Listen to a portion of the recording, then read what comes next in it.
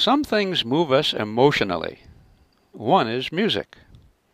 At a musical concert, we may be moved to tears, and then we realize the music we hear can be seen in the pattern of notes we call sheet music. All quite wonderful. A similar emotional experience is seeing the stars on an extra clear night, and similarly wondering if it all follows a pattern, a pattern to the universe and we wonder what that pattern might be. As it happens, Isaac Newton discovered the pattern, which accounts for the roundness of planets and stars, how they pull on one another, and how each shining star pulls itself into a tight ball of gas. That pattern is represented in a simple physics relationship between force, mass, and distance, which is much less complex than the simplest sheet music. It is called the universal law of gravitation. Would you like to see the pattern? Here it is. A physics student can learn to read this pattern just as a musician can read the notes on a page. That's what we'll do on this screencast.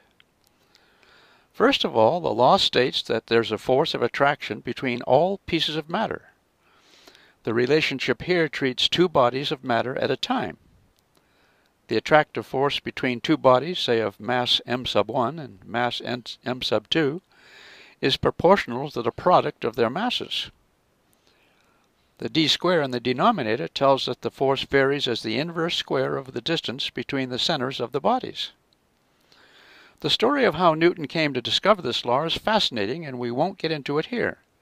Instead, we'll just see if we can read its sheet music. We'll begin with a simple situation. What happens to the force between two planets if the mass of one of them, say m sub 1, is doubled while the separation distance remains the same? Can you see the force is doubled? I hope so.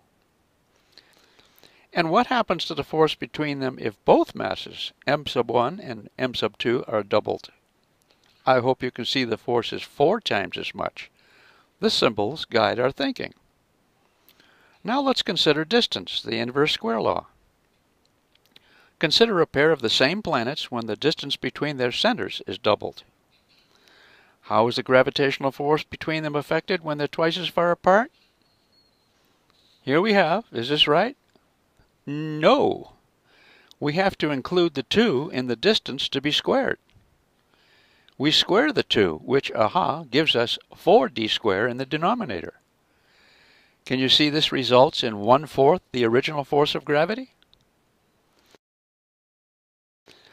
And what happens to the force if the planets are 10 times as far apart?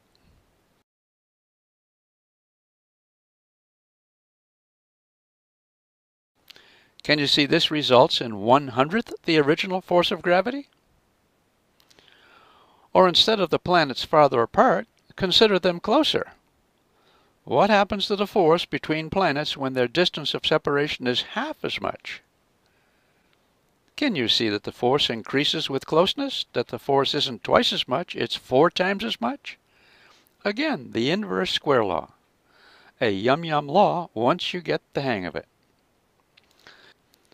About a century after the time of Newton, careful measurements of gravitational force in the laboratory showed that for a pair of masses at a carefully measured distance, the ratio of gravitational force F to the product of their masses divided by distance squared produced a number. The same number whatever the masses and distances involved.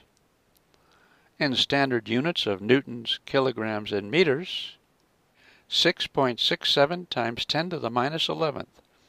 A very tiny number, indicating the tiny force of gravity between objects small enough to be in the lab.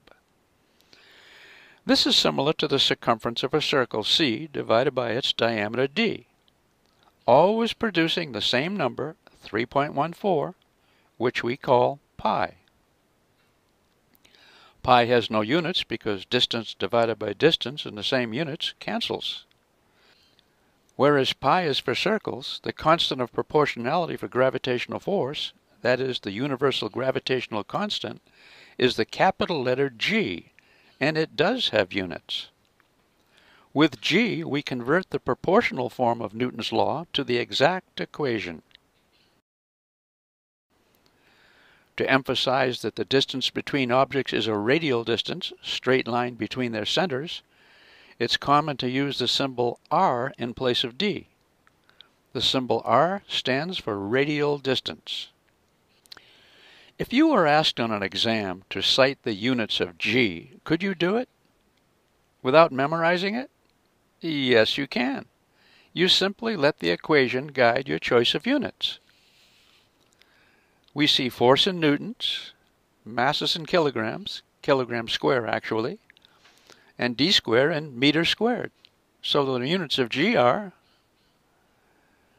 Newton meter square per kilogram square. If you know the equation for a quantity, you need not memorize its units. They follow from the equation itself. Again, equations guide thinking. Let me leave you with a question. Suppose an astronaut lands on a planet that has twice the mass of Earth and twice the diameter. How does the astronaut's weight differ from that on Earth? Let Newton's equation for gravity guide your thinking. Until next time, good energy.